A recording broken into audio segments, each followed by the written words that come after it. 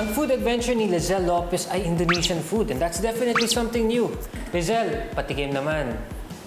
Ang House of Rendang ay nagsaserve ng authentic Indonesian comfort food at ang sabi ng ating co-owner na si Sir Albert ay dadalhin daw tayo ng mga pagkain na to sa colorful islands ng Indonesia. Kaya naman Sir Albert, can you tell us more about this food before ko siya tikman?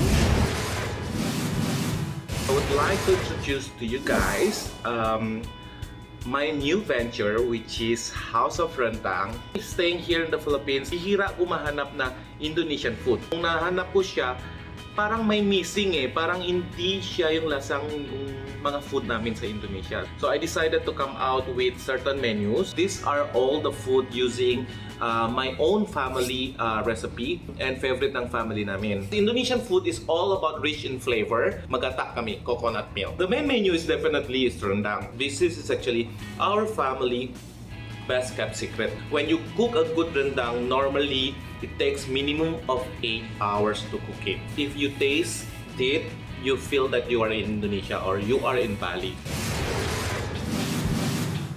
Okay, ready na ako sa tikiman time natin. Unang-una nating titikman, beef rendang. Ang bango! Oh, yung taba ng beef.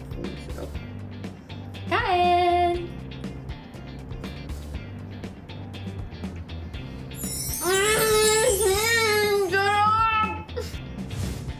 Sumasabog yung lasa niya sa bibig. Sa unang kagat mo, ma malalasahan mo yung sweetness ng coconut.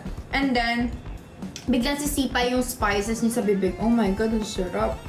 Okay, ang next nating itatry ay ang kanilang ayam bakar or yung grilled chicken nila. Let's go.